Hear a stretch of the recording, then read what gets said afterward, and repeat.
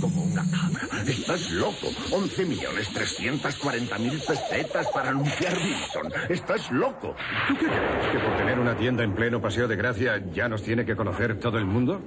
Pero tú sabes lo que cuesta cada pase en TV3. En una buena hora, un millón y pico. Fíjate, para amortizar un kilo tendríamos que vender 113 sillas, 2.335 cucharas. Si quieres que los novios hagan la lista en Vinson, tenemos que hacer publicidad. Pero para pagar la campaña tendríamos que hacer 372,27 listas. Hombre, eh, si lo miras así. Y además, tenemos bolsas nuevas que nos cuestan cuatro duros y las ve todo el mundo. Quizás sí. ¿Sabes qué?